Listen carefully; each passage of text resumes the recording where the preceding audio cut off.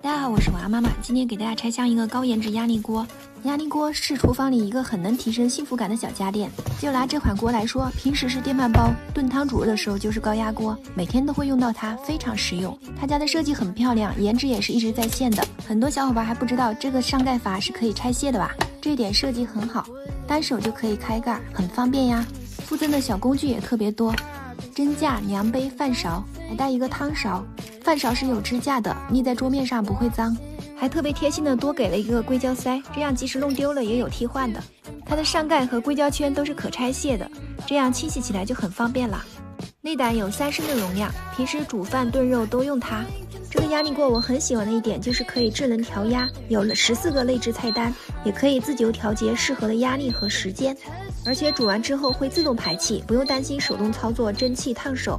还可以做低温料理，相当于多了一个低温料理锅，时间都可以精准控制到一摄氏度，预约时间长达二十四小时。平时不管是炖肉、炖汤还是煮饭都非常好吃。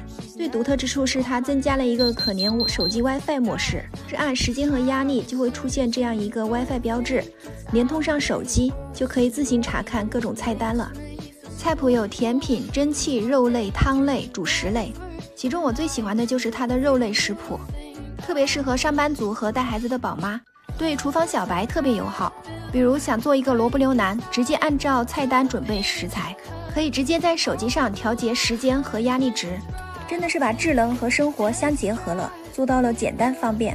今天就用它给大家炖一个牛腩，焯完水炒过糖色儿牛腩，加上生抽、蚝油、番茄酱，放入开水。这个高颜值的净饮机也是他家的，一秒出水，水的量不需要加太多。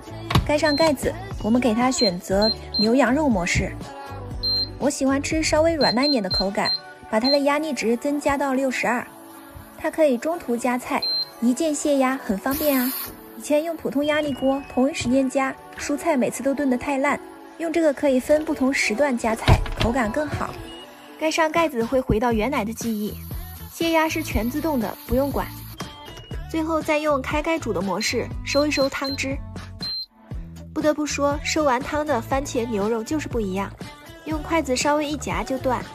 胡萝卜也炖得特别入味儿，舀上这么一勺，用它来拌饭拌面，太好吃了。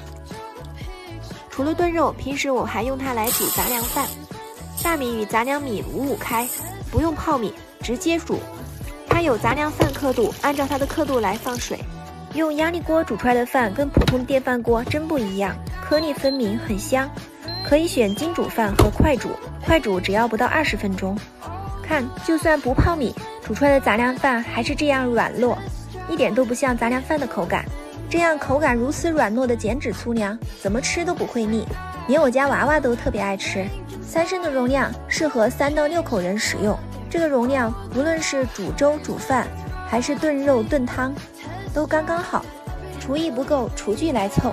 一个好用的电饭锅，真的能让你的厨艺大大提升。世间唯有美食与爱不可辜负，貌美又实用的厨房电器，真的会让人爱上做饭。